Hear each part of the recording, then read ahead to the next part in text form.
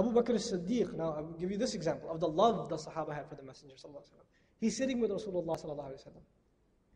And the mushrikun come and they start cursing Abu Bakr as-Siddiq, cursing his wife, cursing his sister, cursing his mother, all kinds of obscene language. He's sitting there quietly. Sabr. They said, Abu Bakr is not going to move like this. They start cursing Rasulullah and his family. At this, Abu Bakr as-Siddiq got up, enraged. As soon as he got up, the Prophet walked away.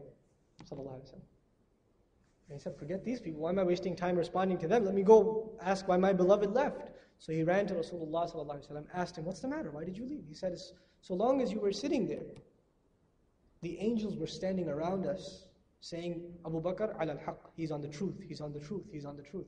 As soon as you got up, they all flew away. And I don't sit where angels don't, are not in my company. What am I telling? From this example, what am I telling you? Why did Abu Bakr Siddiq get up? From what he thought was the appropriate thing to do for Allah's deen. Right? But even that was curbed. You don't even decide what to do for Islam other than what the Prophet has instructed.